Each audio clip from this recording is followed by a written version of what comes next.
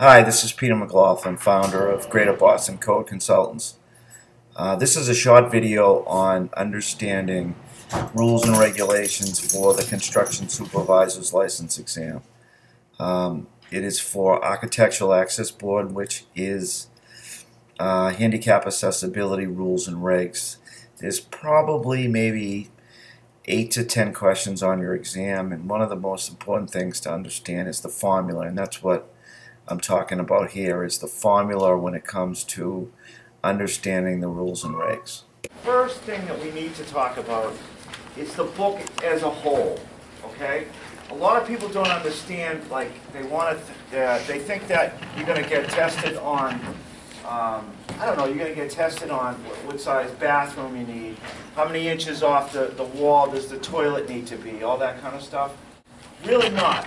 What, what you're going to be tested on, guys, is basically formulas on when to apply the book. It's AAB rules and regs, okay? Um, so AAB rules and regs, the first thing, the first thing that we need to talk about is the book as a whole, okay?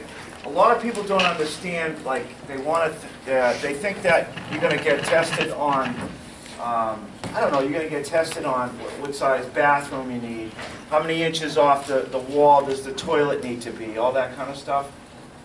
Really not. What, what you're going to be tested on, guys, is basically formulas on when to apply the book. Does that make sense? When to apply this book. Now, let me ask you a question. When do you use, um, when, when do you use the AAB book? And what kind of building? Not just commercial, commercial's not the right answer. Any building that is what? Open to the public. So any buildings that are open to the public being what? A bank, let's say, right? A bank is open to the public. It's got to be made accessible, correct? Now, if it's not open to the public, AAB rules and regs do not comply. You don't have to comply with it. So if you work for a company, let's say Genzyme, or you work for a construction company, and it's on the third floor of a high-rise building, and you can't, there's steps to get in, it's not accessible. You don't have to make it accessible, okay? So that's one big thing. Uh, there's a couple of nuances to this, um, to this kind of, um, to the, to the questions that are on the exam. You just need to know when to apply it. One of the first things we need to know is when do you apply the formula? There's a formula in your book. It's on page seven, okay? It's on page seven, and it's, um, it's actually a pretty simple formula, but it's used all the time. It's the only book, the only book that deals with money, okay? And you're going to be asked questions on this formula. There's no doubt about it. You can see in your workbook, your worksheet here, week five, that somewhere around uh, question 7, 8, 9, 10, 11, those are all formula questions. They're all questions that are based on using this particular formula. And here it is in a nutshell, guys. It's on page 7 in your book, 331, uh, section 331, page 7. Number one, the first thing in the formula is less than $100,000 in work, only the work being done has to conform. Make sense? So let's, let's get that bank. We have a bank. We've established it's open to the public, correct? You are working on the bank and you're doing teller stations, brand new teller stations. But there's three steps to get into the bank. The job cost is $80,000. The only thing that would have to comply is the teller stations, whatever that is. Maybe you need one teller station that's ADA compliant, correct? And maybe you can have six that they don't have to be accessible. But that's the only work being done, less than 100,000. That's all that needs to comply. Make sense? Now, the second piece of the, of the formula is over a hundred thousand dollars, the work being done plus an entrance. So let's say that teller station is hundred and twenty thousand dollars. You with me? Not a hundred, not, not eighty anymore, it's hundred and twenty. So once it goes to hundred and twenty thousand, what happens is, you have to fix the three steps going in.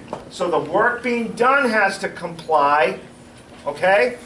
Plus the steps has to comply. And it says in the form of that um, a, a toilet, if, uh, if you're, if you're uh, giving people access to the toilet and a drinking fountain and a telephone, you don't have to uh, worry about telephones anymore. They don't even have them anymore. So it's really the entrance. So what we're talking about is work being done under a hundred thousand, correct? Only the work being done. Over a hundred, work being done plus an entrance, if the entrance isn't uh, is accessible, correct? Also, the other thing you gotta worry about is the third piece. Once you go over thirty percent of the third part of the formula, you go over thirty percent of the assessed value, then the whole project has to comply. So let's say, for instance, the bank, we'll stick with that. You're doing teller stations, you're doing a couple of offices over, maybe you're doing a new ATM machine. All that has to comply, because that's work being done, correct? But let's say that work is, um, the contract's three hundred and fifty thousand for that, the assessed value is a million, then what happens? You're over thirty percent, the whole building has to comply. Does that make sense? Absolutely, the whole building has to comply. Hey, there's seat here, seat here, seat there. Um, so, but there's a couple of caveats to that. When we're talking about the formula, there's a few exceptions. On page seven of your book, you'll see down at the bottom where it says A, B, C, and D, and all that stuff.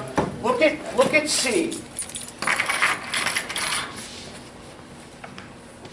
Any type of maintenance issues when it comes to doing work to this bank is absolutely doesn't count towards the assessment of uh, how much money you're spending.